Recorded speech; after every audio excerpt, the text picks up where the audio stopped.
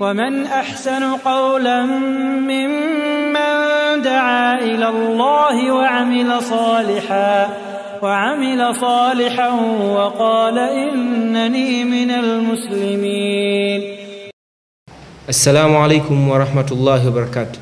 Mpenzi mtazamaji wa Mahasin TV, natumai mzima wa afya na nikukaribishe tena katika fursa yako ya pekee ya kipindi adhimu kabisa cha kipindi cha Uliza Ujue. Kumbuka basi e mtazamaji, kipindi hiki kinakuwezesha kuweza kuuliza na kupatiwa majibu kutokana na wanazuoni au mashekhe wanaotuzunguka. Utakuwa nami katika kipindi hiki Muhammad Abdullahi, na bila kupoteza muda tutaanza na mashekhe zetu kuwakaribisha katika kipindi chetu hichi cha Uliza Ujue. Wageni wetu wa katika siku hii ya leo tunaye shekhe wetu Sheikh Ismail Kibande ambaye ni yuko kuliani kwangu. Salamu alaikum. Na upande wangu wa kushoto tunaye shekhe wetu Khalid Abdallah Al Amin. Karibuni sana ili tuweze kujumuika pamoja katika kipindi hiki cha Uliza Ujue. Naam shekhe, kama kawaida yetu huwa tunaanza na message ambazo zimetumwa na watazamaji wetu wa Mahasin. Tukianza na message ya kwanza shekhe, kwako nafasi ya upendeleo. Anasema assalamu alaikum shekhe, nauliza je, wasilimu wanaosherekea sikukuu za manaswara, je, wana hukumu gani? Mimi ni mama Ahmad Mabatini, Mwanza. Assalamu alaikum Sheikh, nauliza je, waslimu wanaosherekea sikukuu za manaswara je, wana hukumu gani? Mama Ahmad Mabatini, Mwanza. Naam Sheikh. Naam, bismillahir rahmanir rahim. Alhamdulillahi rabbil alamin wassalatu wassalamu ala ashrafil anbiya wal mursalin wa ala alihi tahirin wa ashabihi tayyibin wa man tabi'ahum bi ihsanin ila yaumiddin amma ba'd. Tukianza na kujibu swali la Mama Ahmad Mabatini Mwanza wasilimu wanaosherehekea sikukuu za manaswara, je, wana hukumu gani? Kimsingi tunasema kwamba wamefanya vile katika hali ambayo inawezekana wakawa hawajui, tunawadhania kheri, na kama wamesherekea katika misingi na katika mazingira ambayo hawajui, basi sheria haiwabani, kwa sababu sheria inawapa udhuru watu ambao wamefanya makosa kwa kutokujua au pia katika hali ya kusahau. Lakini katika swala la hawa wasilimu sio hilo tu, bali kuna ahkamu zingine ambazo sheria haiwabani sana muda wa kuwa wamo katika zile harakati za kuendelea kujifunza ahkamu mbalimbali. Kwa hiyo ni wajibu wa mashehe na wale waliowasilimisha kuhakikisha watu hao wanafahamu hukumu za mambo mbalimbali yanayohusiana na dini yao, ikiwa ni pamoja na kusherehekea sikukuu za manaswara. Kwa hiyo hukumu ni kwamba hawana makosa Na labda shekhe, kwa manufaa ya mtazamaji wetu, na. kuna wale wengine wanasema kwani kuna ubaya gani mimi nikienda nimealikwa kwa ndugu na huyu jirani yangu kuna haki za jirani lakini je kuna ubaya gani mimi ku, kwenda kushiriki naye katika sherehe zao naam. Naam, hili swala kwamba kuna ubaya gani? Ubaya utakuwepo muda wa kuwa limeenda kinyume na sheria. Kwa hiyo kinachoangaliwa ni sheria inasemaje na wala si kuna ubaya gani. No. Kama swali kuna ubaya gani, basi ni kwamba ubaya upo kwa sababu sheria hairuhusu. No. Na upande wa majirani, namna ya kusherehekea au kuishi na majirani, tunaishi na majirani kwa haki za majirani kwa mujibu wa mipaka ya sheria ambayo iliyoziweka. Zile sikukuu za manaswara au wasiokuwa Waislamu au za makafiri, zile zinaendana na mujibu wa imani yao, imani ambazo sisi kama Waislamu ni kinyume na imani zetu. Mfano, swala la Pasaka ni swala ambalo katika e, imani ya Kiislamu ni swala ambalo halipo na wala haliamini kama hiyo naam shukran sana. Labda kwako tukirudi kwa fadhilatu shekh khalid Abdul amin unaongezea nini katika upande huo wa masala haya ya watu wanaosherekea hizi sikukuu ambazo haziwahusu naam shekh Alhamdulillah, salatu wassalamu ala rasulillahi sallallahu alayhi wasallam wa baad. Kwanza kabla niongeza, ndugu mwendesha kipindi, nitoe tu shukrani zangu za dhati kwa wahusika wa Mahasin TV kwamba leo ndio mara yangu ya kwanza kukaa hapa kuweza kusaidiana namna moja au nyingine katika yale yanayotufaa katika masuala ya dini yetu. Pia niongezee tu kwamba kama alivyosema Sheikh Kibande, haifai Muislamu kushiriki ama kusaidia kwa namna yoyote ile katika idi za manaswara kwa sababu sisi si katika dini zetu, sisi hatuna nafasi katika dini kuweza kusherekea kwa namna yoyote ile. Ama kuna mtu mmoja aliwahi kuniuliza akaniambia, kuniongeza tu kwamba shekhe, vipi kama mimi mpangaji wangu ama jirani yangu tunaishi naye vizuri, tunakaa naye pamoja, lakini si Muislamu, isipokuwa ule ujirani mwema anakuwa labda katika siku za Pasaka, pengine anamtumia mnyama mbuzi, kama ni siku za Krismasi yeye anamtumia mnyama. Sasa anauliza shekhe, je, nimpokee au nisimpokee? Katika hali hii ya kawaida, kwa sababu ndio jirani mwema, si vibaya ukamchukua mnyama yule, lakini si kwa lengo la kutaka kushirikiana nao, lakini ukamchukua mnyama yule ili tu ujirani mwema uwepo, kwa sababu hatujakatazwa kuwafanyia jirani mwema hawa manii manasara lakini ukauchukua bora ukachukua ukaifanyia ukaitolea sadaka hata kwa mayatima, kwa sababu unapomrejeshea ule mnyama inakuwa katika hali ya kibinadamu na katika maisha yetu tunayoishi sisi hapa katika nchi zetu hizi inakuwa haipo katika hali ya kikawaida ya kihulka. Lakini kama atakuletea mnyama pengine, lakini hujachukua mnyama yule kutaka tu pengine na wewe unashiriki, lakini ukamchukua mnyama yule kulingi, kulinda ile nafasi na maisha tunayoishi sisi wa Tanzania, tofauti na nchi zingine za Kiislamu, lakini sisi tunakuwa na baadhi ya hukumu inabidi tuweze kwenda pamoja, lakini si tu kwamba tunachukua mnyama yule na wewe unashiriki moja kwa moja kwamba una haki na wewe ya kuweza kushirikiana nao katika swala hilo. Naam, shukrani sana. Tukirudi katika swala la pili ambayo ndugu mtazamaji wetu ametuweza kutuuliza, anasema assalamu alaikum. Anasema nini hukumu ya Waislamu kushiriki kutunga sheria ambazo ni kinyume na sheria zilizoteremshwa?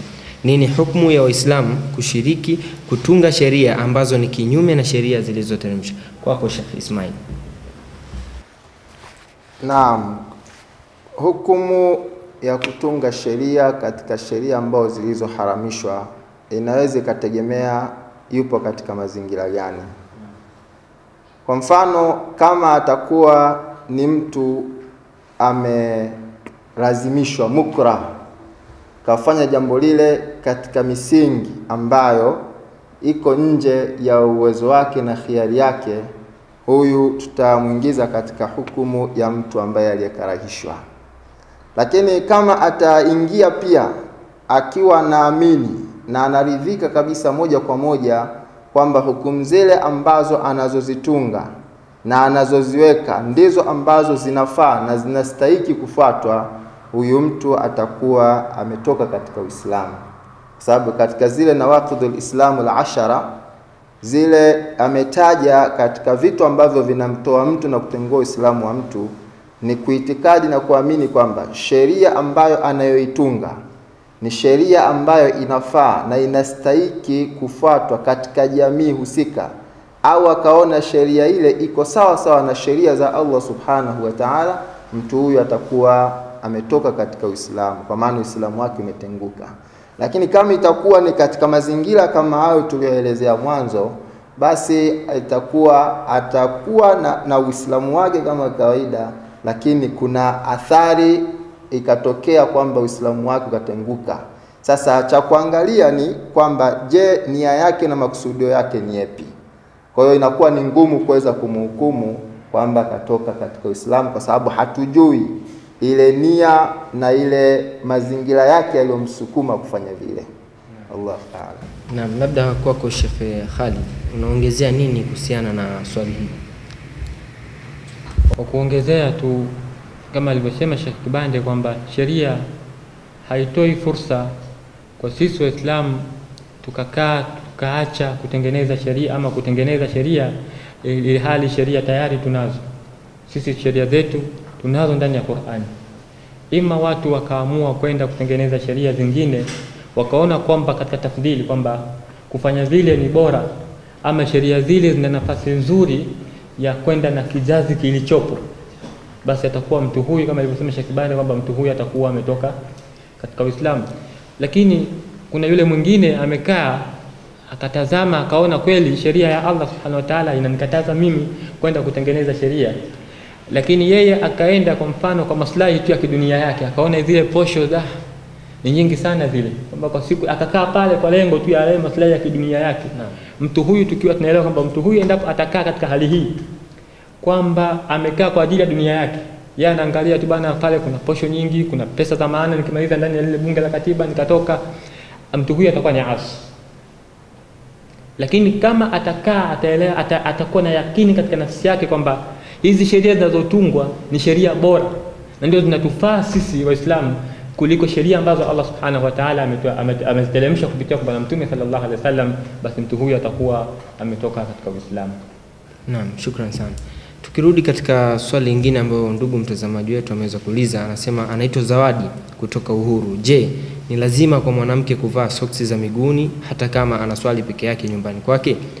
Zawadi kutoka Uhuru anauliza, anasema je, ni lazima kwa mwanamke kuvaa soksi za miguuni hata kama anaswali peke yake nyumbani kwake? Naam, Sheikh Ali.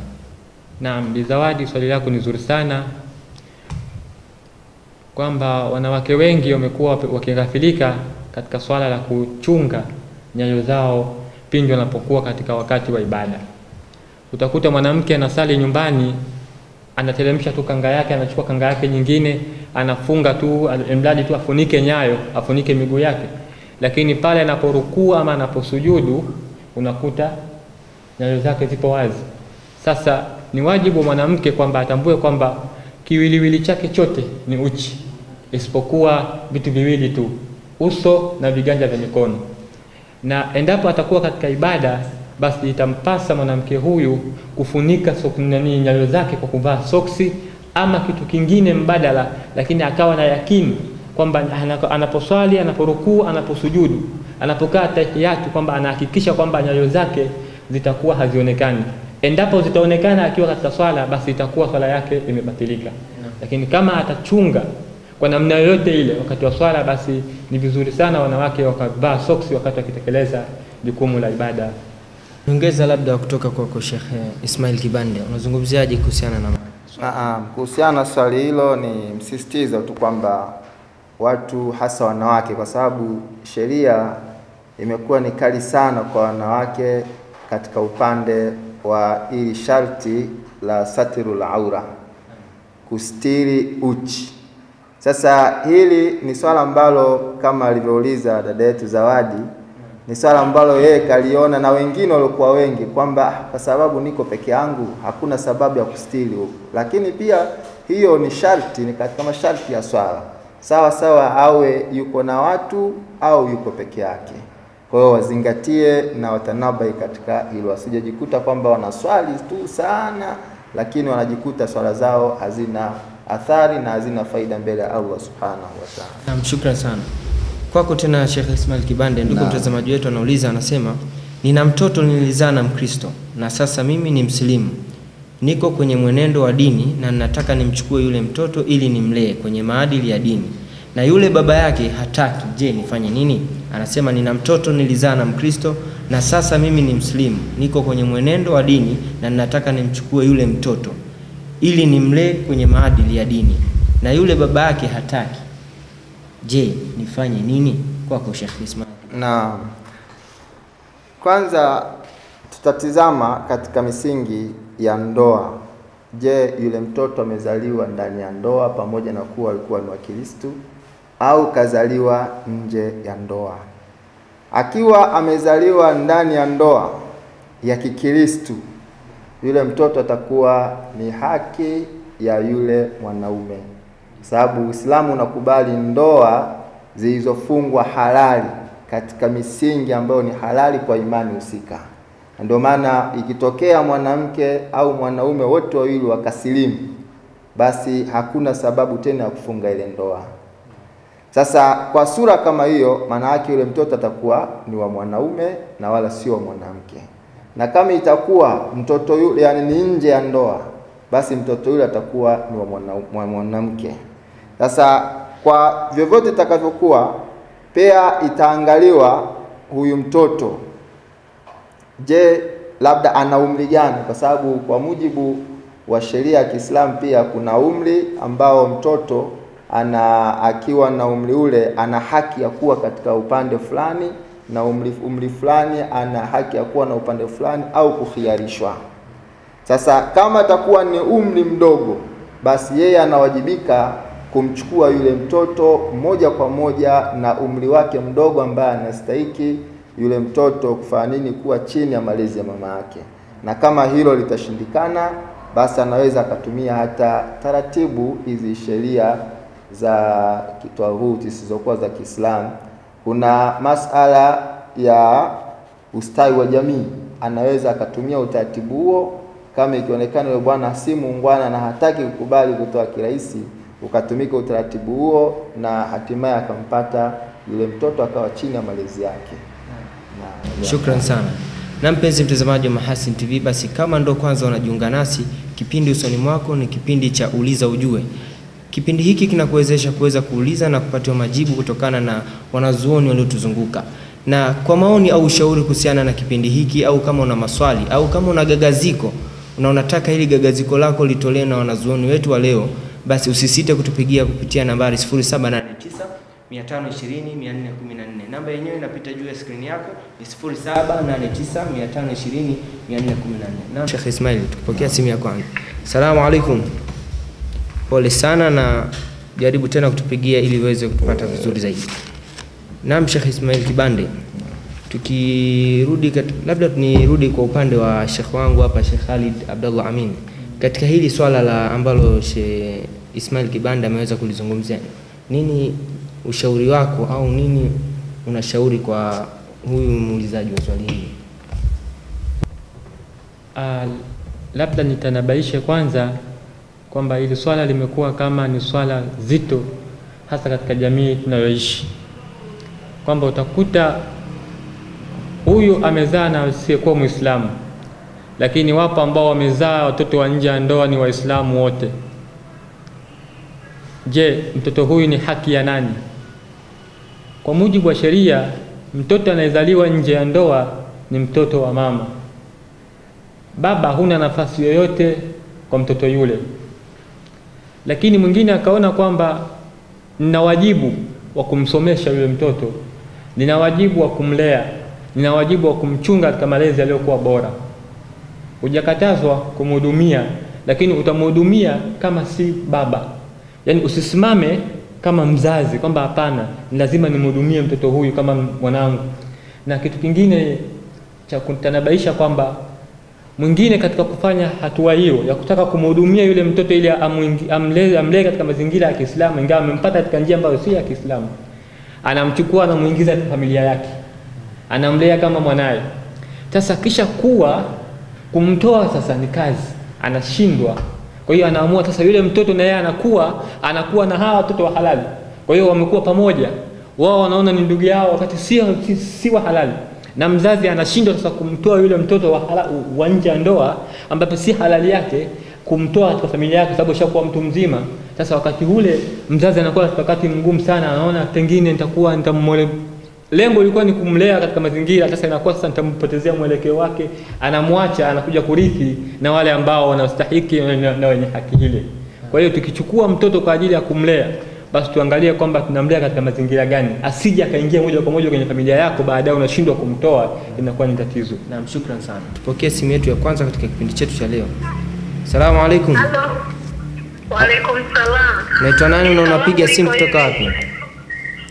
Huko unaswali, huko unaswali swala ya sunna, adhana ikatoka, kwaona bibi usimame kwanza, usimame kwanza mpaka zana iishe, au hata kama zana inaendelea, wewe uswali tu huko, zana inaendelea wakati watoa zana Na shukran sana na subiri kwa majibu. Naam, Sheikh Ismail Kibanda. Naam, jibu ni kwamba ataendelea kukamilisha ile swala ya sunna na wala si sharti wala taratibu ikitolewa azana mtu alikuwa na swali akate swala. Na kwa kuongezea tu ni kwamba swala ukishaingia katika swala kuna makemeo makali sana ya kuikata swala unapokuwa humo ndani ya swala, isipokuwa katika mazingira ambayo sheria imekuja kuyavua, kama vile labda ikama, imekimiwa ikama ya swala ya faradhi, na hili pia japo kuna aqwali ulama, lakini moja ya kauli katika kauli ambazo pia zina nguvu ni kwamba atatakiwa aikate swala. Sasa anaikata swala kwa sababu ikama ya swala ya faradhi imekimiwa. Sasa ni swala ambalo halitakiwi kuikata swala kwa sababu ya adhana. Salamu alaikum. Waalaikum assalam wa rahmatullahi wa barakatuh. Unaitwa nani na unapiga simu kutoka wapi? Naitwa Salahuddin. Naam, karibu na uweze kuuliza swali lako Sheikh. Ah, inshallah. Mimi swali langu ni moja. Naam. Mashehe hutuambia kwamba sauti za mwanamke ni uchi. Naam. Sasa inakuwaje hapo mwanamke anapiga simu kwenye nani kwenye TV? Naam. Naam. Shukran sana na subiri kwa majibu. Kwako Sheikh Ismail Kibanda. Naam, tukichukua kwamba sauti ya mwanamke ni aura, lakini pia ni sauti ambazo zenye kulembe, zenye, zenye kulemba, yani sauti ambazo zile mtu analembesha sauti ambayo inaweza ikaathiri watu wengine, na ndio maana hata katika sura Ahzabu Mtume sallallahu alaihi wasallama aliambiwa awakataze wake zake katika makemeo yale, anasema wala takhdana bilqauli fayatma alladhi fi qalbihi marad, na wala asilembeshe sauti ikawa ni sababu ya watu wenye maradhi kutamani na kuweza kuathirika na zile sauti. Kwa sauti ambayo imekatazwa kwa mwanamke ni sauti ambayo itakuwa hasa inaweza kuleta athari ama pia vyovyote itakavyokuwa katika swala la kupiga simu, maana yake ni katika kutaka kujua. Leo hii tunaona katika watu ambao wapo nyuma sana katika masala ya kielimu ni wanawake, na ukilinganisha na majukumu makubwa waliopewa, majukumu ya kulea familia, na pia na wao wanawajibika katika ibada.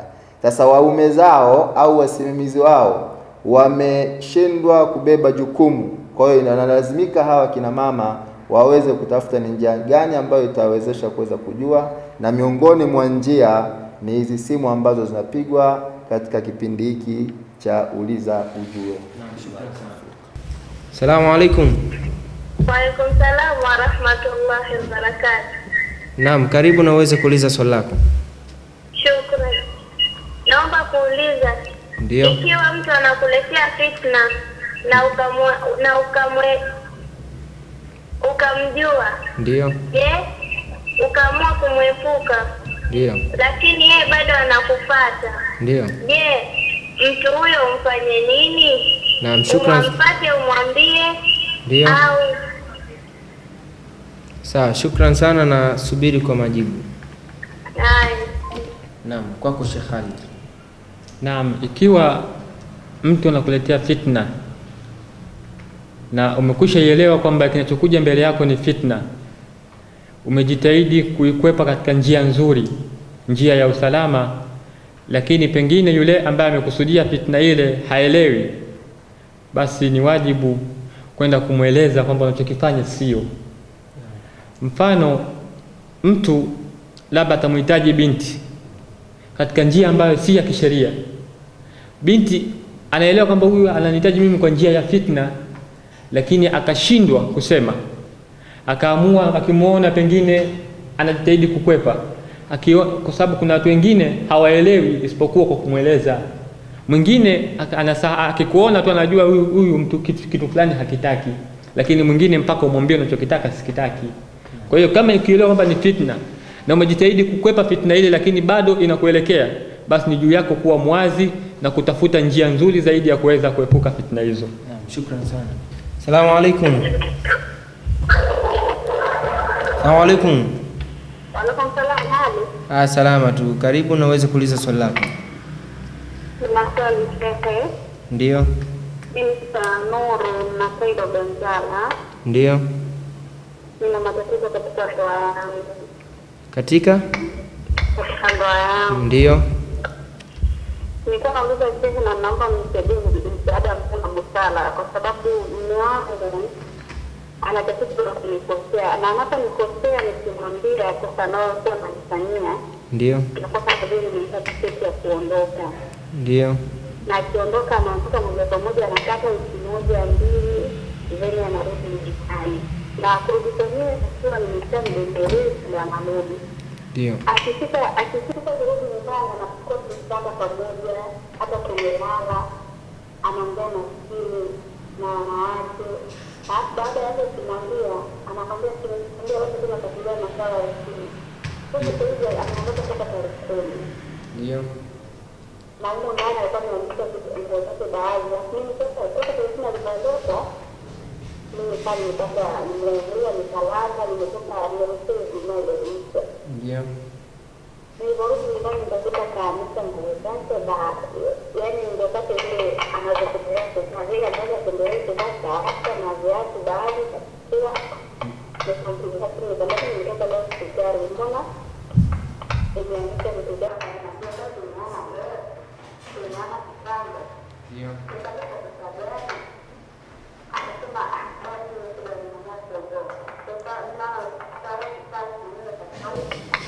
amani zaidi Naam. nikamuuliza mfanyakazi wangu akasema akasema lakini baba wakati huko hospitali alikuwa analala nyumbani. Sasa sijui kimniondesha nini. Basi ndio basi hivyo hata swala la matumizi ndio inakuwa la kusuasua basi nikamwambia kama mama kuhama vipi tatizo talaka yangu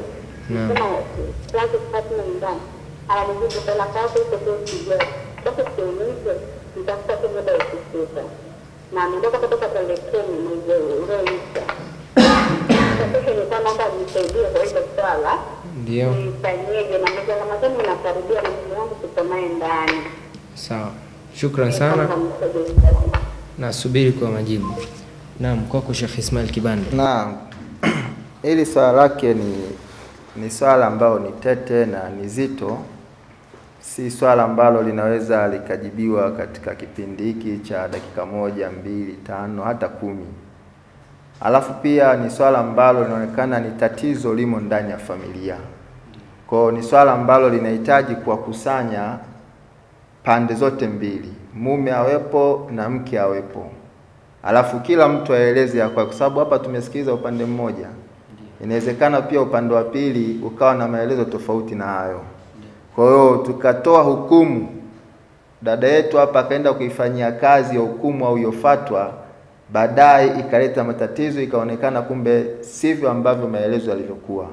Kwa kwa ushauri tu a, jitahidi alifikishe swala hili kwa mashehe ambao anaamini kabisa wanaweza wakalifanyia kazi swala katika mazingira ya kukutanisha pande zote mbili. Tuna mabaraza ya usuluhishi ambayo yanaweza kufanya kazi kama hiyo. Ndugu mtazamaji wetu ambaye ameweza kututumia ujumbe fupi wa maneno anasema assalamu alaikum. Kwanza tuanze kupokea simu. Assalamu alaikum. Tafadhali punguza sauti ya runinga yako ili tuweze kupata vizuri zaidi. Naam, tafadhali na uweze kuuliza swali lako. Ndio. naomba kuuliza mimi naishi na mwanaume mkristo mwezi ramadhani umefika je anaruhusiwa kufunga Unaishi? na mwanaume mkristo Ndio. ramadhani anaruhusiwa kufunga Naam, shukran sana na subiri kwa majibu yako. Naam, Sheikh Ali. Naomba tafadhali majibu kuhusiana na swala hili. Naam, kutokana na swali lako lilouliza, kwanza fahamu kwamba sheria ya dini haikuruhusu wewe kukaa na mwanaume huyo, hata kama atakuwa ni Muislamu.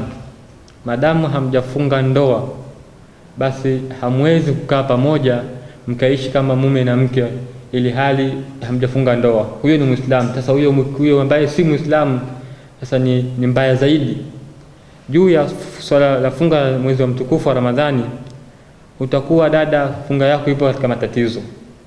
Lengo la funga ni mtu kumwepusha na yale makosa ambayo yanayofanyika kila siku. Lengo la somo ni kumwandaa mtu kuwa mcha Mungu. Huwezi kufikia katika hali hiyo ili hali yule unayeishi naye ndani si Muislamu. Shukran sana. Shekhe, kuna swali ambalo ndugu mtazamaji wetu ameweza kututumia kwa njia ya ujumbe mfupi wa maandishi. Kwanza tungeanza, anasema assalamu alaikum, naitwa Salma Musa wa Kiseke, nauliza namna ya kuswali swala ya istikhara au sunna. Swal, namna ya kuswali swalatul istikhara au sunna. Samani, ame message yake imeishia njiani. Assalamu alaikum. Naam, karibu Shekhe, naweza kuuliza swali lako. Asante. Nauliza swali, Ndio, unafanya biashara, ndio, labda unainunulia moja, unanunua ndio, alafu unauza elfu mbili, ndio. niambie wangu hapo, hiyo hela inakuwa unapata ya ya alama Hela ipi hiyo? bi- biashara, yani unauza Ndio, unapata faida, yani shilingi na bidhaa shilingi. ndio. Naam, vipi hiyo inakuwa inaenda halali? Naam, subiri na utaweza kupatiwa majibu hivi hivi punde. Naam, Sheikh Ismail Kibanda. Naam, Uislamu haukumhadidi au haukumwekea mipaka zaidi mtu katika kupata faida, isipokuwa tu umeelezea katika kuuza, mtu awe muungwana na awe mkarimu katika anapouza na pale anaponunua, kwa maana awe na roho ya huruma. Lakini swala la kupata faida kama ulivyosema, hakuna tatizo, kwani imethibiti kwa mmoja katika masahaba wa Mtume sallallahu alaihi wasallam alipewa kiasi cha fedha kwa ajili ya kwenda kununua kondoo au mbuzi wa udhiya. Alivyoenda kununua mbuzi kondoo yule alipewa dinari, kama sio dinari mbili au dinari moja, lakini kilichofanyika akaenda akanunua yule mbuzi kwa dinari ile moja, akaja akamuuza kwa dinari mbili na akanunua aka- tena mbuzi mwingine huko huko kwa dinari moja, akamrudishia Mtume swalla salama mbuzi na akamrudishia na ile dinari, yaani kana kwamba Mtume swalla salama yule mbuzi kampata bure. Kwa hiyo Mtume swalla salama hakulikemea hilo, bali alimwombea dua, na riwaya zinaonyesha kwamba kila yule bwana hata kama angeuza mchanga basi angepata faida. Kwa hiyo hii inaonyesha kwamba ukanunua shilingi ukauza shilingi mbili, faida shilingi kwa shilingi, bado hakuna tatizo biidhnillah. Salamu alaikum. Waalaikum salaam, habari ya shughuli? Ah, salama tu. Unaitwa nani? Unapiga simu kutoka wapi? Ndio, Swali la kwanza ni najua kwamba ukisha swali swala ya rasri ndio, hakuna swali lingine hapo katikati. Ndio. Eh, Ninapokuwa na safari nimeshamaliza kwa rasmi nikapata safari naweza nikaswali so- zote swalati safari. ndio la kwanza. La pili, wanawake wanasema si si, si, vizuri kuswali swala ya Ijumaa msikitini. Kwa naona kuna misikiti mingine kama sehemu mingine baadhi wameweka chuo wameweka msikiti wa wanaume tu. Sasa je, wakiwa ija wanawake huwa waswali msikitini au wanaswali kivipi? Je, siku ya Ijumaa, siku ya Ijumaa kuna hutuba. Hutuba ni nguzo ndani ya Ijumaa. Je, mwanamke akiswalia nyumbani atapataje hiyo hutuba? Hayo ni maswali yangu ambayo ningeomba mnisaidie, ambayo natatanisha huku. Alafu hakika hakika mtoto ni elimu ambayo ni pana sana na imeanza kutolewa siku hizi baada ya vyombo vya habari vya Kiislamu kuanza kuonekana kwenye kwenye mativi na redio, lakini kwenye madrasa, kwenye misikiti hakuna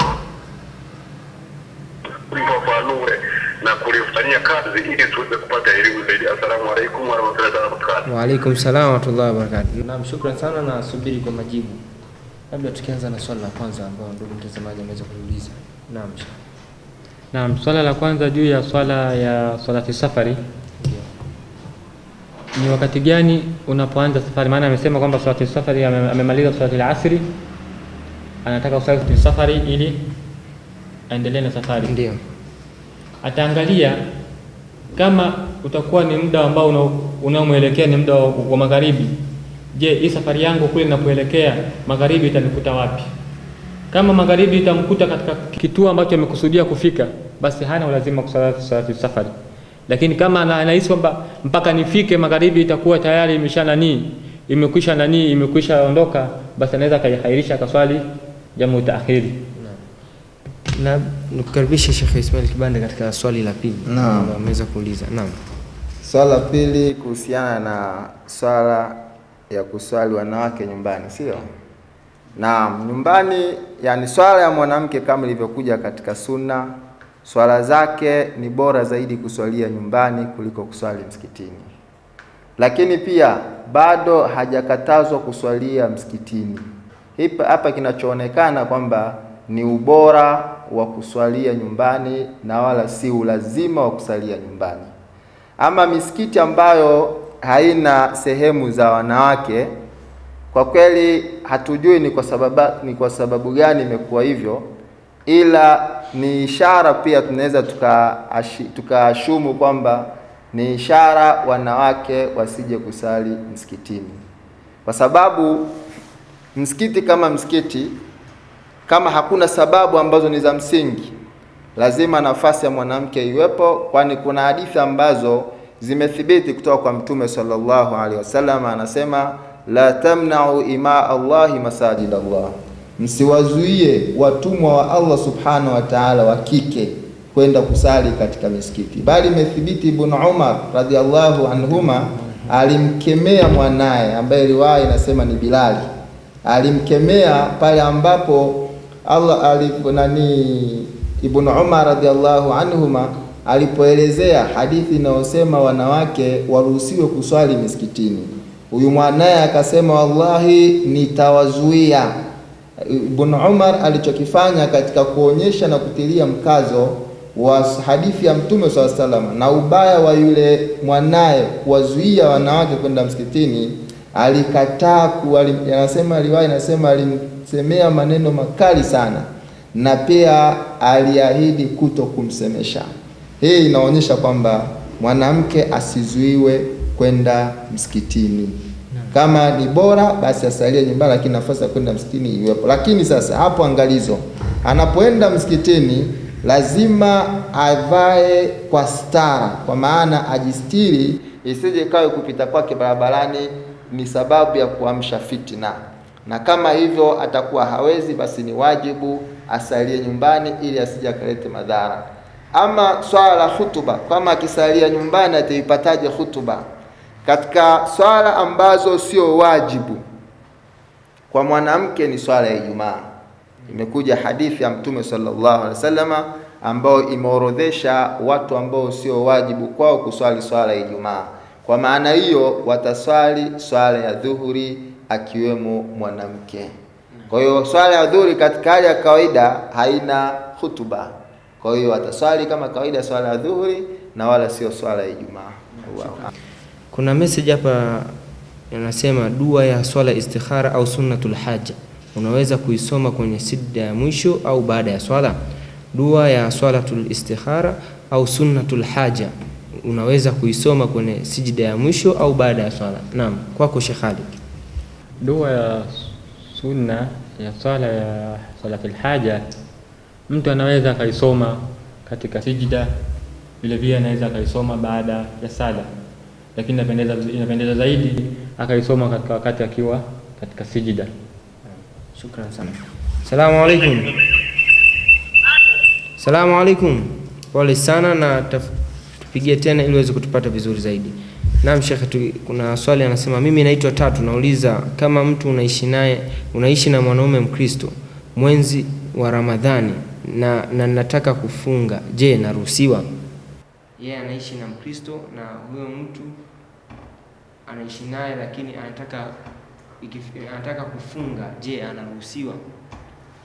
Mimi nafikiri swala hilo kashalijibu Sheikh Khalid hapa, na katika majibu yake ameashiria kwamba kwanza tuogope kosa ambao ni kubwa la uzinifu, kwa sababu kama ni Muislamu katika hali ya kawaida hawezi akawa na ndoa na Mkristo, kwa maana hiyo atakuwa anazini.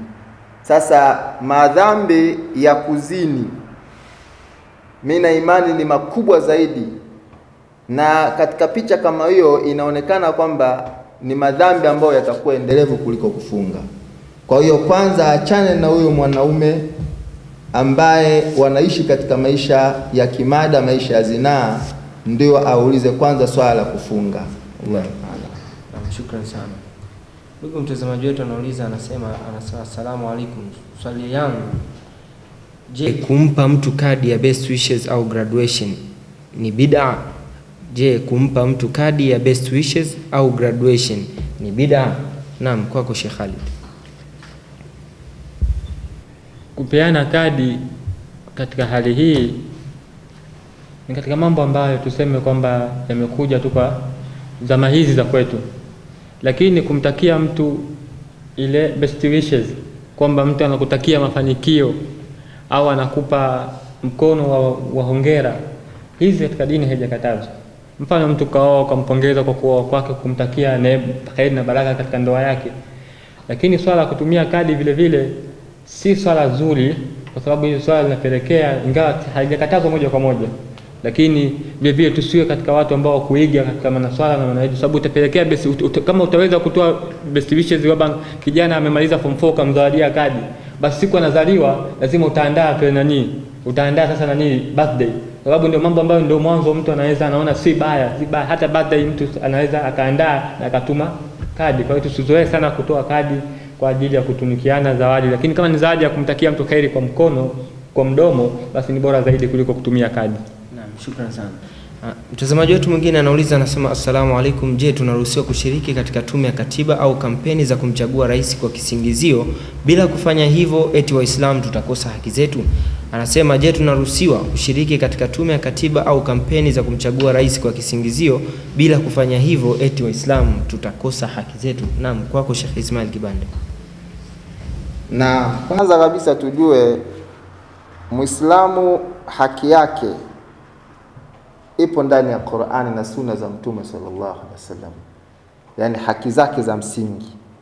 Ama masala ya katiba au sheria hizi zingine, hizi zinatakiwa zilinganishwe au ziangaliwe, je, zinaendana na Qur'ani na sunna? Ndio swala ambalo ni la msingi. Kama mtu anatafuta haki, afate utaratibu ambao sheria ya Kiislamu imeielekeza na wala sio utaratibu mwingine ambao ni wa mkato. Sasa kama watu wanaamua kuingia katika masala ya katiba, watu watakuingia katika masala ya katiba kutafuta haki zao, haki hazitafuti katika sura kama hiyo, vinginevyo waingie tu katika mfumo ambao labda ni wa kinchi au kwa matashi mengine na nini, sababu tunaona nchi mbalimbali ulimwenguni ambazo zimeingia kutafuta haki na kutaka kusimamisha dola kwa njia kama hizo, lakini leo ziko wapi?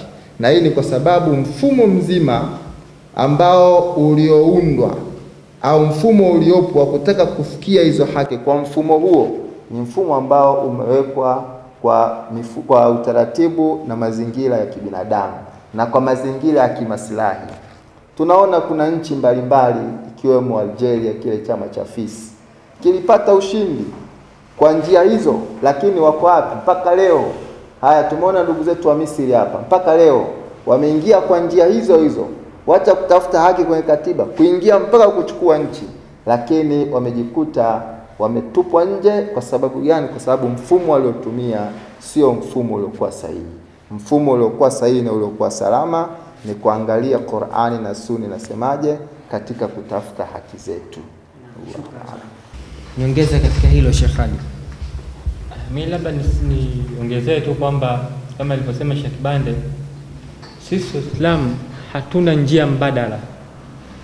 Pengine wengine wakaona kwamba tutumie njia mbadala, kwamba na sisi tutakuwa ni watu wa aina gani? Jamani, tutaendelea kuwa wanyonge kila siku, tusipotetea haki zetu, tusipoingia kwenye mabunge pengine kutaka na sisi kudai yale ambayo tunayohitaji, ambayo tunaona kwa namna moja au nyingine tutapata unafuu. Kwa kweli niseme kwamba hatutofanikiwa kama alivyosema Sheikh Thabit bin Taimia kwamba simamisheni dola ya Kiislamu kwenye nafsi zenu, kisha Allah subhanahu wa ta'ala atakusimamishieni dola ya Kiislamu katika dunia yenu. Kwa hiyo tukitaka sisi Waislamu mafanikio ama iza turudi kwanza tuwe Waislamu wa kweli kwenye nafsi zetu, tusimamishe dola ya Kiislamu katika nafsi zetu, kisha Allah subhanahu wa ta'ala atatufanyia wepesi katika kuisimamisha dola ya Kiislamu katika dunia yetu. Naam, shukrani sana. Mtazamaji wetu mwingine ametutumia jumbe fupi ya maandishi, anauliza anasema, assalamu alaikum, hivi kuingia na chabo wakati wa mtihani ni haramu? Hivi kuingia na chabo wakati wa mtihani ni haramu? Naam, kwako Sheikh Ali. Kuingia na chabo katika mtihani haijuzu, ni katika ghishi, ni katika udanganyifu, maningashana falaisa minna. Hivyo haifai mtu kuingia na chabo katika mitihani, kwa sababu utakuwa ni udanganyifu, na Allah Mtume saa salam ametukataza kutafuta mafanikio kwa njia ya udanganyifu. Okay. Salamu alaikum. Alaikum salam. Naitwa nani na unapiga simu kutoka wapi? Naitwa Aisha, napiga simu kutoka Ghana. Karibu na uweze kuuliza swali lako tafadhali. Asante. Uh, Sheikh hapa angezungumzia swala kwamba kuingia katika swala la katiba Ndio, kwa Uislamu ndio, Uh, si jambo zuri sana, inabidi tu- tu- tu- tushikamane na mfumo wa Kiislamu ndio, ndio ndio mfumo mzuri, lakini tukitizama kwamba sasa hivi nchi yetu Tanzania si nchi ya ya, ya Kiislamu ndio, ina ina pande mbili. Ndio. Sasa hatuoni kwamba labda ni muhimu hata sisi tuka- tukaingia huko, labda tukaweka mawazo yetu ili pia tuweze kusikia kwa njia moja ama nyingine. Shukrani sana. Naam, karibu sana. Naam.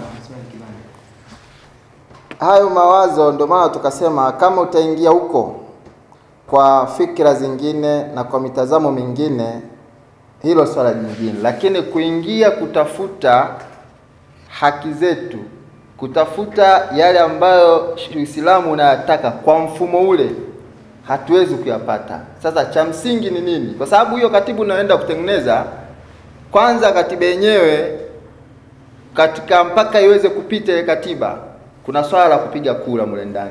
Nyewe Waislamu kwanza mko ngapi mule ndani ya bunge? Na mfumo wa utaratibu au mfumo uliowekwa katika kufikia kulipitisha hilo ni ndio, hapana, wangapi? Sasa utajikuta kwamba ukiangalia kwa kina utakuta ni mapungufu na kuto kukiamini kitabu chetu. Na tunaposema tukifate kitabu chetu, hatuna maana kwamba umshike mtu mkate mkono, umshike mtu kazini, piga bakora mia moja, upiga mawe mpaka afe. Hatuna maana hiyo. Tuna maana kwamba kabla ya kufika huko kuna mambo madogo madogo umkatikati. Mfano swala la malezi ya familia, swala la stara ndani ya nyumba, hilo halihitaji kwenda kutengeneza katiba bungeni. Wewe mwenyewe kama mama mlezi, mama ambaye una wajibu na unafahamu wajibu wako katika familia, huwezi ukakubali mtoto wako abaki uchi. Sasa hili pia linahitaji kuingizwa katika katiba au sheria ya nchi inakubana wewe kuja kudhibiti ndani mwako. Na kwa bahati mbaya kabisa, hawa watu ambao wanaonekana kwamba ndio ambao wanataka hizo sheria, wanaokimbilia huko, uzoefu unaonyesha familia zao au maisha wanayoishi si maisha ya Kiislamu. Ndio maana shehe wangu Khalid hapa kanukuu maneno ya Sheikh Islam bin Taimia, simamisha kwanza katika nafsi yako. Allah subhanahu wa ta'ala atakusimamishia dola katika dunia yako. Kwa sababu yani, kuna vitu ambavyo havihitaji kufika huko, kuna vitu vidogo tu, na hivi ndivyo ambavyo huwa vinatengeneza yale yaliyokuwa makubwa. Naam, shukrani sana. Tukienda katika jumbe fupi ya maandishi ambayo ndugu mtazamaji wetu ameweza kuuliza, anasema je, nikitaka kuamka kuswali ni lazima ni, ni ruhusa mume wangu? Nikitaka kuamka kuswali swala za usiku, je, ni lazima nimwombe mume wangu ruhusa? Naam, kwako Sheikh Khalid.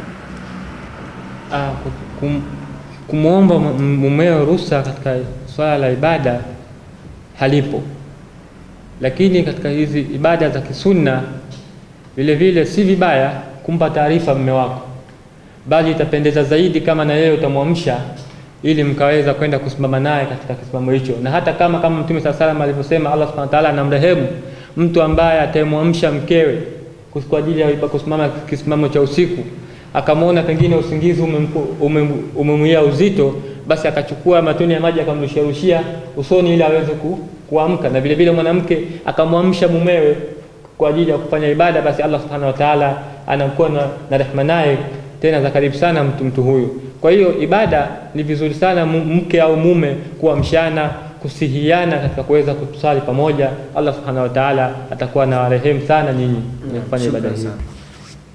Naam, salamu Wa alaykum salam wa rahmatullahi wa barakatuh. Naitwa nani na unapiga simu kutoka wapi? Naitwa Omar Mtungi, napiga simu kutoka Unguja. Naam, karibu sana Sheikh. Eh, kweli hakika na kwa sababu kwa sababu yao mazuri. Ndio.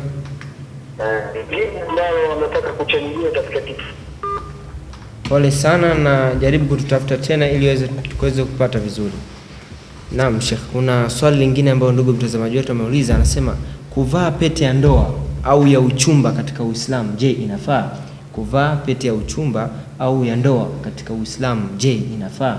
Naam Sheikh Ismail. Kwa kweli ni masala ambayo ukiyatizama kwa kina ni masala ya kuiga, ni masala ambayo tunayachukua katika tamaduni zisizokuwa za Kiislamu, na hivi ndivyo ambavyo alivyosema Mtume swalla salama, latattabi'anna sunana man kana qablakum, wallahi mtafuata mienendo ya wale ambao waliokuwa kabla yenu. Mpaka itakapofikia wakaingia katika shimo la mbulukenge, kwa sababu mko nao ana au mko nao bega kwa bega, mko nao sawa sawa. Ikifikia wakaingia katika shimo la Mburukenge na nyinyi mtaingia katika shimo hilo. Kwa kweli, ukiangalia mazingira mengi ni kwa sababu watu wameacha mfumo halisi na mfumo kamili wa Uislamu na wanatafuta vile ambavyo visivyokuwa Uislamu. Kwa hiyo ni, ni kitu ambacho ni katika kuiga, ni katika vitu ambavyo vilivyoigwa kwa wasiokuwa Waislamu.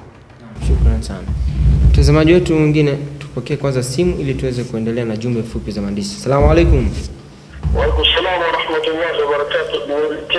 Naam, karibu sana na uweze kuchangia nasi katika kipindi chetu cha uliza ujumbe. natangulia tena kusema kuwa majibu ya mashehe yanaridhisha, alhamdulillah. Allah ajaze elimu. Naamini. Nataka kuchangia katika swala ambalo ameuliza kuhusiana na katiba. Ndio, Nilikuwa mimi nashauri, ndio, kwa sababu ufahamu wa Waislamu hivi sasa tunaimba, ndio, Waislamu wengi wanaimba katika ufahamu huu wa katiba. Je, Waislamu tunabudi kuingia katika katiba hii ambayo nchi ya sahizi inashughulika? Ndio, au vipi? Sasa mimi wazo wangu nasema Mahasin TV ndio, waweke jopo la mashehe. Ili tuweze kudadavua haya mambo na kuyaweka sawa, naam, ili mradi elimu ifike kwa Waislamu, kwa sababu Waislamu wana mkanganyiko sana katika hili swala. naam, Mfano kama katika swala la ukadhi, mimi katika rai yangu ambayo nilikuwa nimeiona pale ambapo serikali iliposema Waislamu tengezeni kazi wenu mimi kama mimi nilikuwa nimeona pale ni fursa sisi ya kutengeneza kazi yetu ili tuhukumu kile ambacho tunachotaka kuhukumu. ndio, bali nilikuwa na hilo, lakini wengine wakawa na mtazamo mtazamo mwingine ambao tofauti na mtazamo wangu, nao kuna wengine walikuwa na mtazamo wangu. naam, Kwa hiyo nitakuwa na, na, na shauri mahasi mkizio waweke jopo ndio, lije linatavua jambo hili, ikiwezekana meza duara kabisa, mashehe kama kumi sita hivi na kuendelea. Ndio, waweze kuli- kuli- kulichambua hili na wenzao Waislamu wapate elimu katika hili. naam. Shukran sana na tutalifanyia ufumbuzi zaidi swala lako. Naam, Sheikh. Tukirudi katika lile swali ambalo ndugu mtazamaji wetu ameuliza, anasema nini hukumu ya mchawi au aliokutwa nini hukumu ya mchawi aliokutwa anawanga dhahir? Nini hukumu ya mchawi aliyokutwa anawanga dhahir? Naam, Sheikh. Naam, kwanza kabisa uchawi ni ushirikina na Uislamu umekataza, na pia mtu ambaye atakutwa na namna hiyo, hadi yake kama ilivyothibiti katika sunna za Mtume sallallahu alaihi wasallam, anasema hadi yake, adhabu yake ni upanga. Lakini sasa nani anamsimamishia huo upanga? Hicho ndio kitendawili kingine ambacho kinashindwa kuteguliwa lakini mwenye jukumu la kusimamia hizi hududi huwa ni kadhi ambaye anayetambulika katika dola ya Kiislamu, na sasa hivi kadhi hatuna.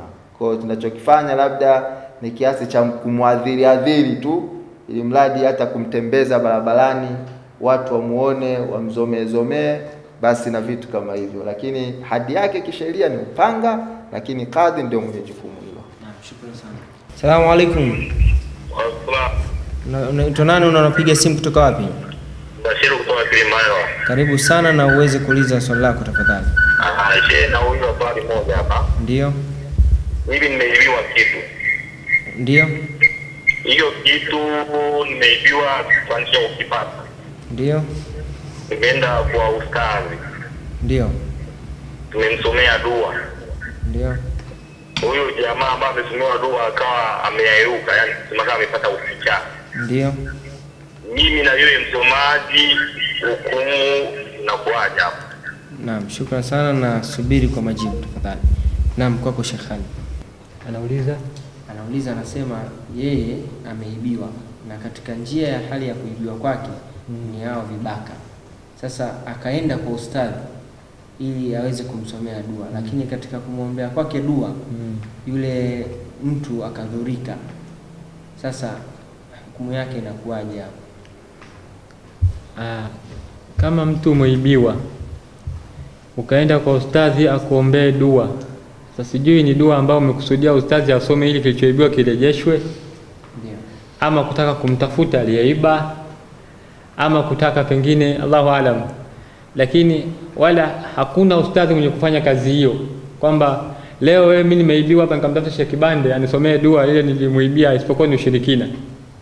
Huyo ustadhi atakuwa hafanyi kazi, wala sio ustadhi, atakuwa ni mshirikina, na kitu ambacho anachokifanya ni kitu ambacho si katika tabia za Kiislamu. Hukumu ya, ya mwizi inajulikana, lakini kwenda ukamfanya mtu akawa chizi ni katika njia ambazo, kwa sababu hakuna kisomo cha kufanya mtu tu nikasoma hivi mwizi tu ukayayuka. Huu ni ushirikina ambapo haufai wala haujuzu katika Uislamu. Naam, shukrani sana. Asalamu alaykum. Waalaikum salam warahmatullahi wabarakatuh. Naam, Sheikh, karibu na uweze kuuliza swali lako. Naitwa Jabiri, niko Kilimanjaro, Mwanza. Ndio, swali langu ni swali moja.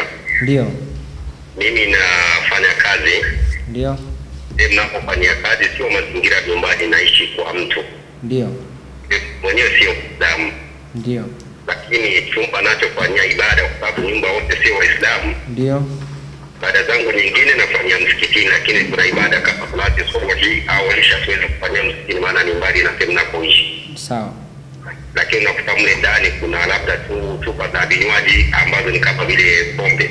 ndio. Sasa mimi iwapo nafanyia ibada ndani ya nyumba hiyo, ibada yangu itakuwa katika hali gani?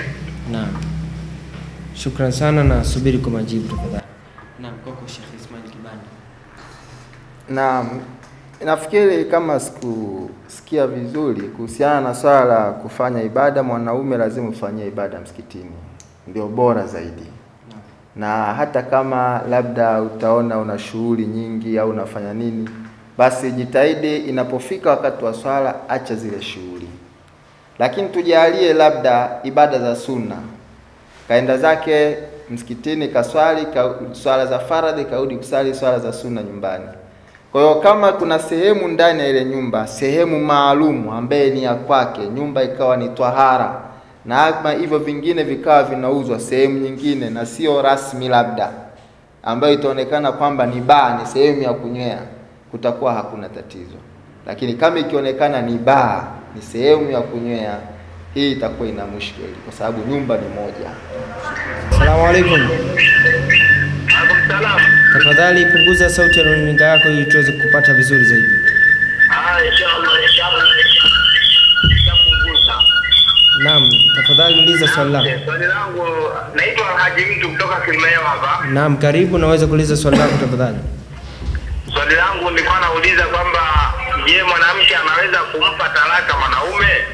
Naam, shukran sana na subiri kwa majibu. Eh, yani. Naam, kwako Sheikh Khalid. Mwanamke anaweza kumpa talaka mwanamume. Mwanamume ndio mwenye kutoa talaka. Mwanamke ana haki ya kudai talaka. Kama talaka mwanamume atakataa kuitoa, basi mwanamke aende, kama kuna mahkama za kadhi, kama kuna mashekhe wanaweza wakamsimamia katika swala hilo, lakini mwanamke dhani kama ana haki ya kutoa talaka. Salamu shukran sana. Asalamu alaikum. Naitwa nani? Unapiga simu kutoka wapi? Naam, karibu wana swala ya zana uweze kuuliza swali lako. Swali langu lilikuwa naombi Ndio, kwamba Waislamu wengi wapige kwenye madarasa ndio, na mati watufungulie kipindi cha viazi Swahili, watu wanasomeshwa, ndio, kwa sababu hata kuuliza maswali mengine yanasikitisha. Ndio. Unamsikiliza Muislamu na mimi nyingi kwenye Uislamu, lakini maswali yanauliza ni ndio, Sasa tujitahidi tupate elimu kwenye vipindi kama hivi, Ndio. ili maswali mengine yatapungua mingi, kwa sababu watoto wao wanasikiliza riadha, swali hili inasemaje, tafsiri ya Qur'ani inasemaje, sehemu moja moja. Katika vipindi vizuri vitatusaidia sana kwenye jamii zetu, hata majumbani, inshallah. ndio. Shukran sana kwa ushauri wako.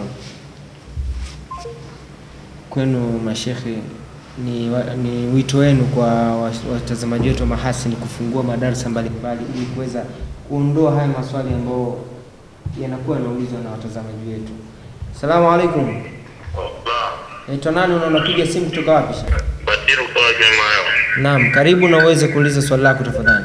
Sawa, je, mimi mfano nasafiri. Ndio, Nimefika labda muda wa usiku, niko kwenye nyumba ya kulala, labda gestini, Ndio, Nimefika muda wa swala usiku, sehemu hiyo hamna msikiti wala hamna Waislamu, ndio. fanya ibada ndani ya gesti humo, swala inakuwa inazuia Naam, shukran sana na subiri kwa majibu tafadhali. Naam, kwako Sheikh Ismail. Naam, swala itasihi endapo sehemu ile itakuwa ni twahara. Mfano kile chumba chako unaamini bila kuchunguza chunguza, katika hali ya kawaida unaamini kwamba sehemu ile ni twahara, basi unaweza ukafanyia ibada. Lakini ikitokea shubha fulani, labda kuna walevi au kuna baa jirani au wanaruhusu watu kuja na pombe au mazingira yote ya utata ka, utaweza kusali kama utakuwa pia una nani una kitu kama mswala ukawa na msala wako pale ukatandika na ukasali juu ya msala ule itakuwa ni sahihi na kama itakuwa hakuna shubwa hizo hata chini unaweza ukasalia sana. Salamu alaikum. Salamu, habari ya kipindi. Salama tu, unaitwa nani na unapiga simu kutoka wapi? Naitwa. Sasa Ndio. nilikuwa nakuuliza. Ndio. hivi ni hatari Waislamu kudai mahakama ya kazi serikalini, kwa sababu kama nilivyojieleza kwamba mahakama ya kazi kisha kuwepo kazi atakuwa analipwa serikali, wakati serikali unajua eh, gharama zake zinakotoka zimechanganywa na mambo eh, wa- yani makusanyo yao wa wajari wapi, hata mwenye nguruwe anatoa kodi, hata sasa itakuwaje huyu anayelinda sheria anakula mshahara kutoka serikalini wakati yule eh, zinazokusanywa zimechanganyika na waramu. Hivi kwa nini tusitengeneze kazi yetu tukatoza mambo yetu, alafu tukaona ni nani atakayetuingilia, ndio tukaja tukamwelewesha taratibu ili tuziingize. Kwa nini tunalazimisha lijienda bungeni ikaleta ugomvi, unawapelekea waelewi, wanawajadili kama ulivyosema kwamba tunapokuwa mule bungeni tunakuwa wangapi? Sasa lilileta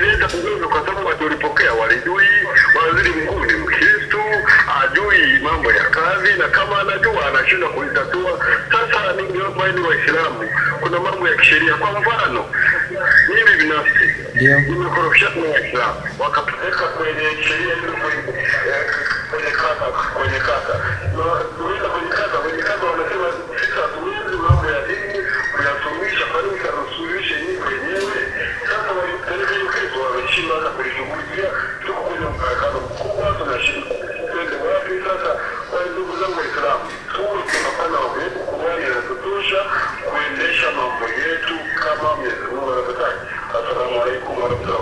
Naam, shukran sana kwa ushauri wako. Naam, Sheikh, tukirudi katika swala ambayo ndugu mtazamaji wetu ameweza kuuliza, anasema je, kumwombea kafiri dua inafaa? Je, kumwombea kafiri dua inafaa? Kwako Sheikh Ali. Haifai kumwombea kafiri dua. Hii ni katika mazingira yake, unaweza kwa Muislamu ukamwombea kafiri dua kwamba Mungu amsaidie, Mungu amrehemu. Haifai.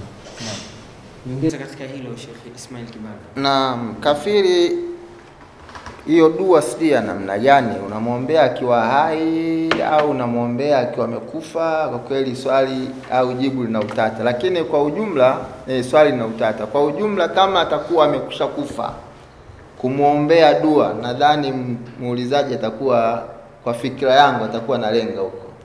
Kumwombea kafiri dua aliyakuwa amekusha kufa huyu haifai na dua ile haiwezi kumfaa lolote bali imekatazwa. Imekatazwa katika Qur'ani kumwombea dua kafiri. Mtume sallallahu alaihi wasallam alitaka kumwombea dua baba yake mdogo Abi pamoja na ihsani zote alizomfanyia kumhami na ukafiri lakini Allah subhanahu wa ta'ala alimzuia katika Qur'ani. Kwa hiyo haina mantiki na haiwezi kumkubaliwa kwa sababu amekufa ni kafiri na laana iko juu yake. Naam, shukran sana. Asalamu alaykum. Wa salaam. Naam, karibu na uweze kuuliza swali lako tafadhali. Naweza kuna swali ndogo nauliza shehe wangu hapa. Ndio. Kumpa mtu wa mtu mkono ni kosa? Ndio, karibu karibu sana. Naam, Sheikh Ismail Kimani. Naam, kumpa mke wa mtu mkono ni kosa na sio mke wa mtu tu, yoyote asiyokuwa maharimu wako, yaani mtu ambaye sheria haikuruhusu, mtu ambaye sheria inakuruhusu kumuoa, hauna nafasi wala sheria haijakuruhusu kumpa mkono. na hii ni kwa sababu ndani ya mikono humu kuna vitu fulani ambavyo vinawezekana kwa kile kitendo cha kukutana vikaamsha hisia zingine. Kwa hiyo Uislamu umetahadharisha habari kama hiyo. Shukran sana. Salamu alaikum. Salamu alaikum.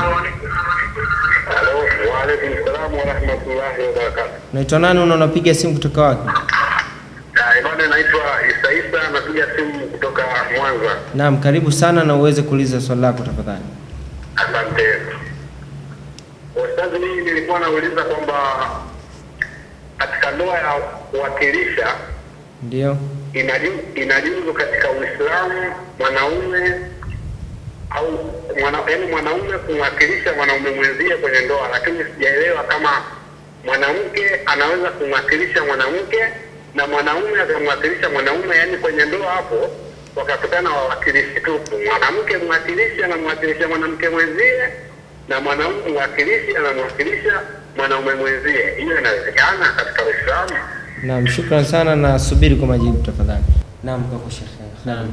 Katika swala la ndoa, mwanamume ana nafasi ya kuwakilishwa katika swala la ndoa ili ipatikane ile ijabu wal kabuli, kwamba nimekuozesha, nimekubali kuoa. Ndipo lazima kuwepo na mwanamume muoaji ama mwakilishi wake. Upande wa wa mwanamke hana nafasi, kwa sababu mwanamke kwanza haji yeye mwenyewe kama mwanamke, anasimama walii wake kwa niaba yake. Ina maana walii inamtosheleza mwanam, kwa upande wa mwanamke kuweza kusimamia masuala yote ya ufungaji wa, ufungaji wa ndoa, lakini mwanamke haina haja ya yeye kuwakilishwa katika ndoa kwa sababu hasimami yeye kama mwanamke, anasimama wali wake anayemsimamia katika masuala ya ndoa. Naam, shukran. Nyongeza katika hilo Naam, nyongeza katika hilo ni kwamba walii wa mwanamke anaweza pia akawakilishwa na mtu mwingine.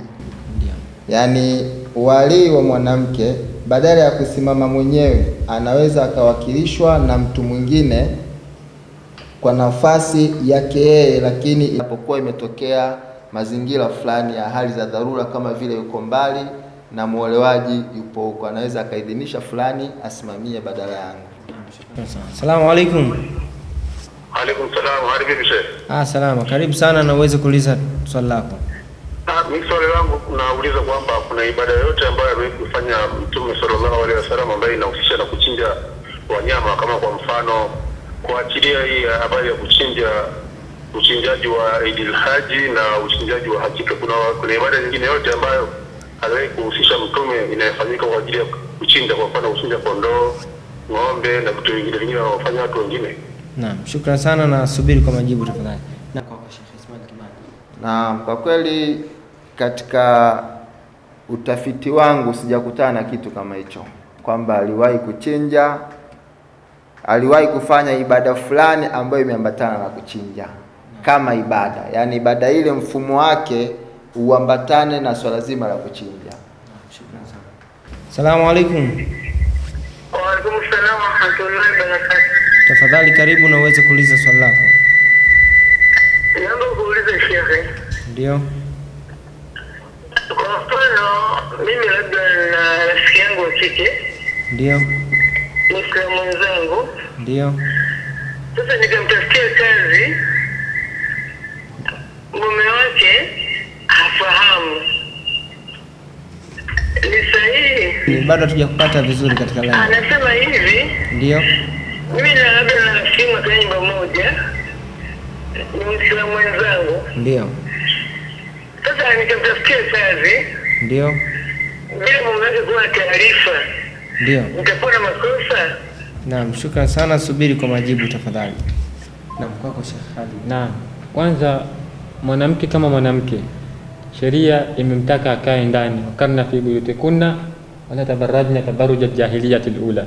Hii ndio sheria, mwanamke ametakiwa kukaa ndani. Kufanya kazi iwe ni dharura tu, pengine sasa imebidi ama hakuna budi mwanamke kufanya kazi, ndipo sheria imeruhusu kufanya kazi. Ama kumtafutia kazi rafiki yako pengine mume wake hajui, hiyo utakuwa una dhulumu na umeingilia masala ambayo hayakuhusu, kwa sababu yeye kutoka lazima atoke kwa ridhaa na kwa ruhusa ya mumewe.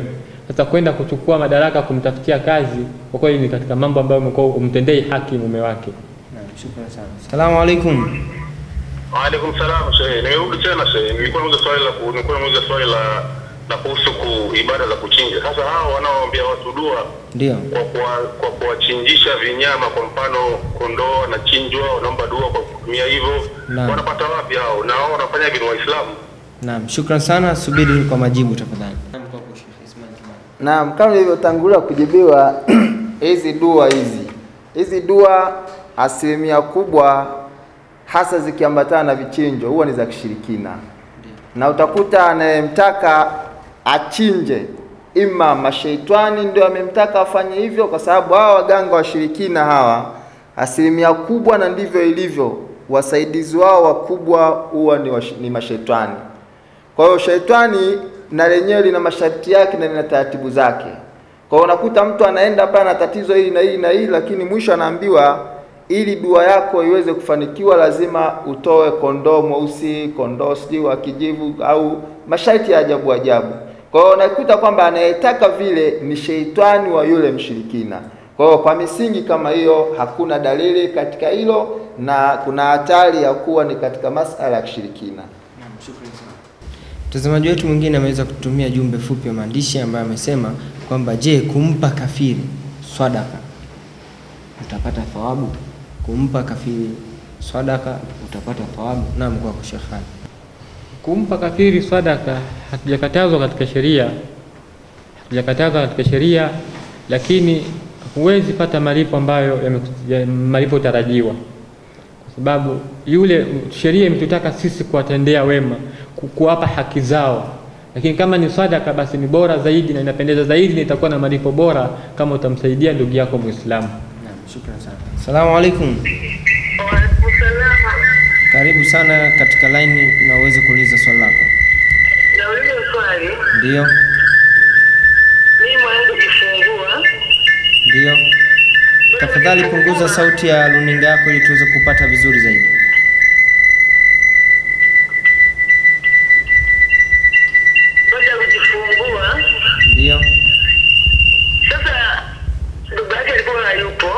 Ndio.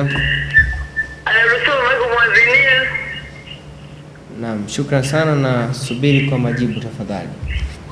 Naam, kwako Sheikh Ismail Kibali. Kasemaje? Kasema mtoto kaji, yaani ule mwanamke akajifungua, lakini baba yake hayupo. Je, anaruhusiwa kumwadhinia mtu mwingine? na inakubalika kumwadhinia, si sharti lazima aadhiniwe na baba yake, na sheria inaruhusu kuadhiniwa. Okay simu ya mwisho katika kipindi hiki cha leo ili tuweze kufunga kipindi kutokana na muda umetutupa mkono. Salamu alaikum. Waalaikum salam wa rahmatullahi wa barakatuh. Naam, karibu sana na uweze kuuliza swali lako tafadhali. Ah, nashukuru. Na maswali matatu Sheikh. Ndio, Swali la kwanza, ndio, mwanamke ukimtamkia kuanzia leo si mke wangu, ndio. hiyo inakuwa ni taraka ama inakuwa isii kisheria? Hilo ni swali la kwanza. Lakini swali langu la pili Ndio, ni kuhusiana na swala alilouliza ndugu aliopita hapo kwamba kuhusiana na kumwombea kafiri dua. ndio, Sasa swali langu linakuja hivi kwamba kafiri anaumwa, ndio, iko hoi, labda kaja kwako ustadhi, ndio, anahitaji kumwombea apate shifaa ya maradhi. Ndio, alionayo, ndio, yenyewe hiyo inakuwaje? Imesimamaje? Sheria? Ndio, Swali la tatu, ndio, niko safarini ndio, sasa, nimetengukwa na uzu ndio, naruhusiwa kutayama, lakini nguo ndo chafu ndio. kwa ajili ya swala ninakusudia, nguo ndo chafu. Sasa ninafanyaje fanyaje ili nipate swala kutayama? Msala ndatayama ili msala, lakini sasa nguo ni chafu na siruhusi kuswali hajakuwa ni mchafu wa nguo, nafanyaje? Naam, shukran sana na subiri kwa majibu tafadhali. Tutaanza na swali la kwanza ambalo utalijibu Sheikh Khalid ambao amezungumzia kwamba talaka hii ya maneno kwamba umemtamkia kuanzia leo wewe sio mke wangu. Je, hii talaka ina inakaa au haikai? Naam, Naam, kwanza tutambue kwamba talaka si maandishi, ndio. talaka ni maneno, na katika swala la talaka halina nafasi ya mzaha. Mtu tu kaamua pengine kutaka tu kumwangalia mwanamke au kumtisha kwa usulubu wa talaka, inahesabika kuwa ni talaka. Kwa hiyo talaka si maana si maandishi. Na mke wako kuanzia leo si mke wangu, ina maana sheria inahukumu moja kwa moja kwamba si mke wake. Naam, shukrani sana Shekhe. Swali la pili ambayo ameweza kuuliza anasema kwamba kumwombea dua, hata kama kumwombea dua katika masala ya kumwombea dua kafiri akiwa anaumwa, je, vipi unaruhusiwa? na kafiri sheria inaruhusu na hasa kwa kuzingatia ana nafasi gani, sababu katika makafiri kuna wale ambao hawana matatizo makubwa hivyo na Waislamu ambao Allah subhanahu wa ta'ala ameturuhusu kuwafanyia wema. Sasa katika hali kama hii, huyu wa kawaida huyu, sheria inaruhusu ku kumwombea dua ili aweze kupona, na hii ni kwa sababu kufa kafiri ni kitendo ambacho Allah subhanahu wa ta'ala kinamuudhi, wala yarda liibadihi lkufur, wala haridhi ukafiri kwa waja wake. Kwa hiyo atakapoachiwa aendelee kuumwa au akaachiwa aka, aka kwamba bora afe tu, hakuna haja ya kumwombea dua, anaweza akafa ni kafiri huyu. Na Uislamu siku zote unamtaka mtu afe akiwa ni Muislamu. Kwa katika sura kama hiyo anasema inajuzu kumwombea dua ili aweze kupona. Tumalizie kwako Sheikh Khalid, swali la mwisho. Kwa kumalizia swali la mwisho kuhusiana na tahara, akikusudia kwamba nguo anayokuwa nayo wakati wa kutaka kusali. Na ndugu Waislamu, tuna tutoleane tu tahadhari kwamba tumekuwa ni watu wa kutokuchunga, hasa sisi wanamume pale tunapokuwa safarini kwa usafiri wa basi, kwamba tumeshindwa sana kuchunga mikojo, kwamba tumeamua kujisaidia ili hali tumesimama, hatutaki kuangalia mikojo. Yani ni tatizo kubwa sana. Mbali na swala itakubaliwa haikubaliwi, lakini vile vile swala la hukumu pia vile ya mkojo, Mtume saa anasema ni katika si miongoni mwa adhabu kubwa ambazo tutazopata sisi Waislamu katika kutokuchunga ili swala la mkojo. Kwa hiyo tunapojisaidia lazima tuchunge hii hii mikojo isiweze kuenea katika nguo zetu na isiweze kuenea kuingia katika mwili wetu. Na swala la swala, swala haitokubalika kama nguo haina tahara. Ni wajibu wetu sisi kuhakikisha kwamba tunaposafiri tuweze kuchunga hizi nguo zetu ili ziweze kuwa katika hali nzuri, pale tunapotaka kusali tuweze kuweza kupata ibada na swala kukubaliwa. Labda koko nyongeza kuhusiana na hilo. E, nyongeza ni kwamba kama alivyosema ndugu yangu Sheikh Khalid hapo, tuochane na ile fikira kwamba msafiri kafiri, kwamba anaweza kufanya lolote tu na nini. Ni dhana na fikira potovu. Uislamu, Muislamu anatakiwa awe safi na awe tayari muda wote kwa ajili ya kufanya ibada. Kwa hiyo tuachane na fikira kama hizo. Mpenzi mtazamaji wa Mahasin TV, kutokana na muda umetutupa mkono, nitawarudishia mashehe wangu nafasi ya dakika mbili mbili au dakika moja kuweza ku, kuwaambia au kuwaasa nini watazamaji wa Mahasin TV. Naam Sheikh. Naam, kwa upande wangu mimi nitaanza na swala la dua. Katika maswali yaliyoulizwa hapa, yameulizwa sana pia masala ya dua. Hii dua dua dua dua, ndugu zangu katika imani, imepelekea watu kufikia katika mahala pabaya sana. Leo mambo ya dua imefikia mpaka dua zinauzwa, dua ya elfu tano dua ya elfu kumi dua ya elfu saba dua ya nini. Sasa ni vitu ambavyo hata kiakili tu vimekuwa vikitengenezwa katika mazingira ambayo yani hata akili tu haikubali.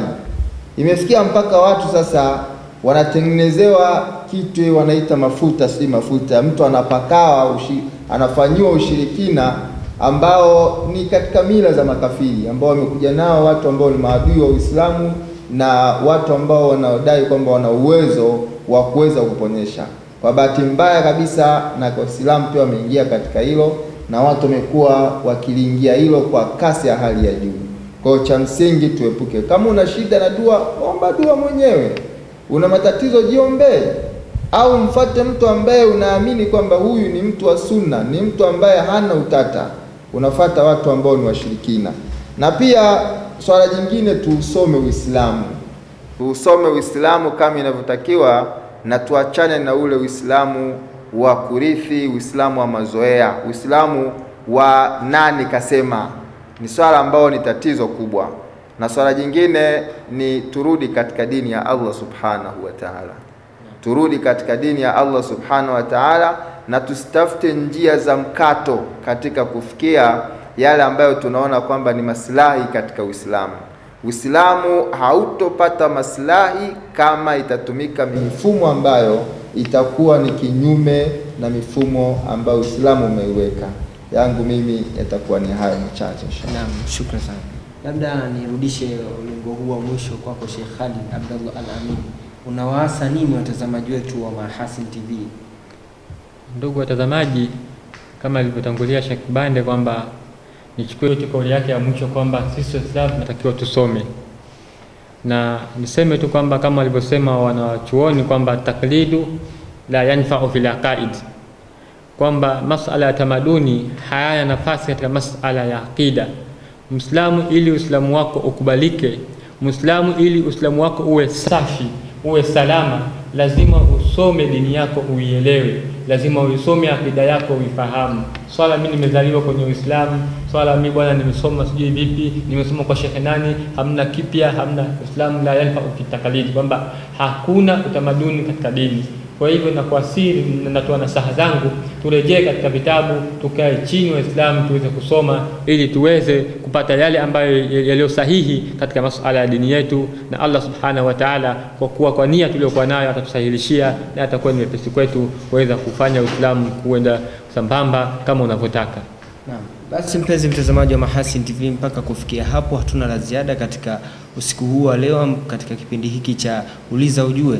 Ni kushukuru wewe ambao umeweza kutenga muda wako kuweza kutusikiliza na kuweza kupatiwa majibu pia na mashehe, na niwashukuru sana mashehe zangu kwa kuweza kufika katika kipindi chetu cha leo, na Allah alipe kila la kheri na ajalie fanaka katika maendeleo yenu au mafanikio yenu katika upande wa dawa.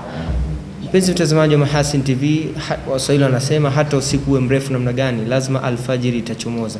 Ulikuwa nami mtangazaji wako Muhammad Abdullahi. Kwa pamoja tunasema subhanaka Allahumma bihamdik wa ashhadu an la ilaha illa anta wa astaghfiruka wa atubu ilaik. Mm-hmm.